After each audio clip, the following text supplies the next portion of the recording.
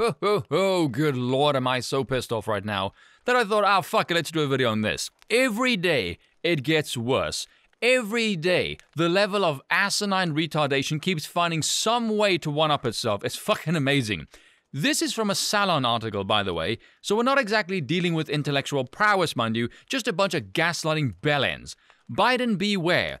GOP sees opportunity in new COVID variant. So did you, you bastards. You used it in 2020 to crank in your mail-in ballot shenanigans, you disingenuous piles of wank. Here's a quote from that article.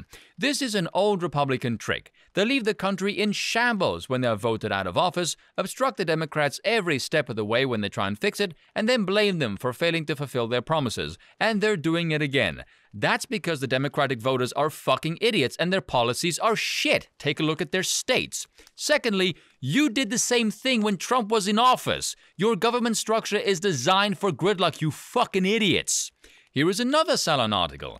Democrats dine in luxury while families struggle. It's a recipe for electoral Armageddon in 2022. Here's a quote from that article. The Democrats' wounds that have made this possible have largely been self inflicted. The lack of self awareness is fucking insane. How, in the name of all that is holy, does this party have any power? How are these people so unbelievably fucking stupid? Oh my god, I have nothing further to add to this. So that's all for today. Until next time.